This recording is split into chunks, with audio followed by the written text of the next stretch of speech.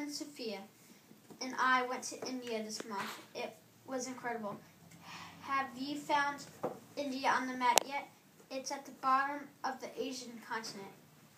I think it looks like a slice of pizza. Do you?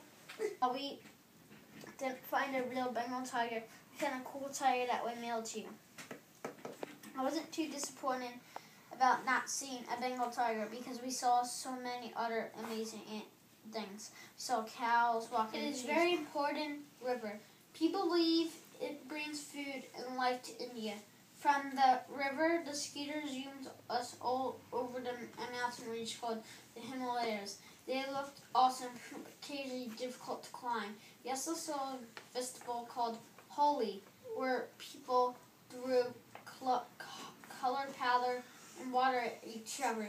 We ate delicious food. Sofia said it was so yummy because all of the spices. I bought some of the spices home for Aunt Charlie to cook. The last thing we discovered in India was like Ganesha statues. There were Ganesha statues oh, However, many people of the other religions also pray to Ganesha. People believe that Ganesha brings good luck, wisdom, and new beginnings. Sofia and I hope that all brings See you next month, Sam and Sofia.